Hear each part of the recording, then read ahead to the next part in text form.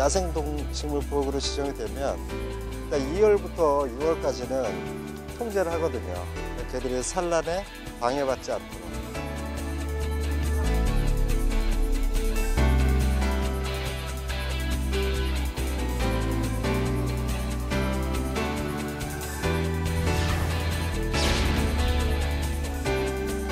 생태 경관 보전 지역 내에서의 서식하고 있는 그 야생 동식물을 보호하기 위해서 에, 출입을 저희들이 산란 차례는 제한하게 되고 또한 그 환경 단체와 그 어, 합동으로 에, 이용객들을 계도하고 있습니다.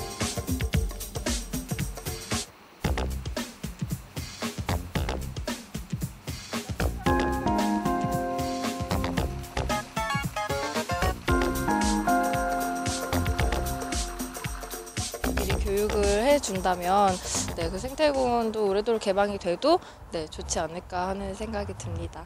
글쎄 다니 여기 뭐 계곡 정도 다니는 사람은 그 정도 자연 보호는 요새는 다 하지 않아요?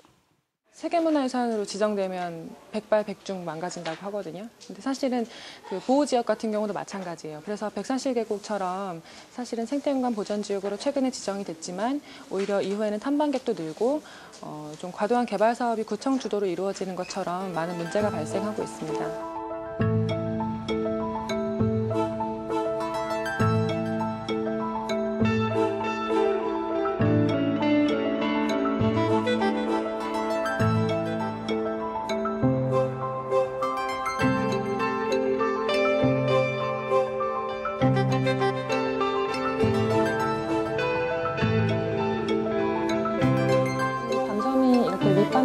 밤섬, 두 개로 나누어져 있고요. 여기가 내부 탐방로 빨간색으로 보이시는 거고요.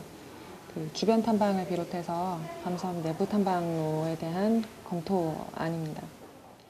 밤섬 탐방객에 대한 그 배려로 출입을 어, 허용하는 게 아니고요. 밤섬 외곽에서 밤섬을 관찰할 수 있도록 하는 게 지금 그 하려고 하는 계획입니다. 밤섬 내에는 출입을 할 수 없습니다, 현재. 안쪽에 실제로 탐방로 낼 계획을 가지고 있어요. 시장도 검토하고 있고 올해 예산에도 탐방 프로그램 예산이 들어가 있고 그래서 서울시의 주장에 대해서는 사실은 저희는 그냥 거짓말이라고밖에는 못하겠고 통행이 많아지면 얘들도 사는데 방해를 되니까 방해가 되기 때문에 점점 오지 않을 것이고 제대로 된 그 관리 계획을 수립하지 않고서 계속해서 추가 지정만 하는 건 오히려 탐방객들만 끌어들이는 효과가 있을 수도 있다고 저희는 보고 있습니다. 그렇기 때문에 어, 기존의 녹지에 대해서 기존의 보호구역에 대한 철저한 관리 방침이 먼저 나와야 할 것 같고요.